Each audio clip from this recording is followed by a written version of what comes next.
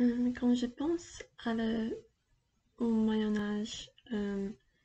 je pense à des histoires euh, à propos d'une d'une dame dans une tour avec un chevalier qui se bat contre un dragon pour la sauver ou des histoires à propos de la noblesse mais racontées de manière satirique euh, et aussi des, poèmes euh, euh, qui montrent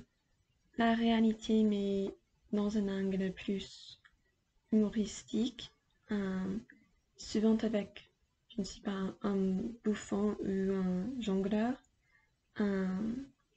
et aussi la musique était très distincte avec le lyre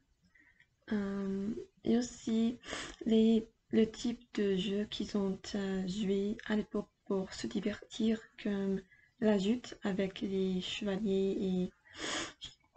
les chevals. Euh, mais je ne sais pas, je, ne pense pas que je, j'aurais aimé vivre à l'époque parce que,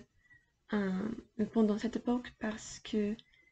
principalement parce que les femmes n'avaient pas des droits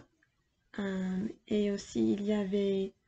une grande distinction entre la noblesse et les pauvres.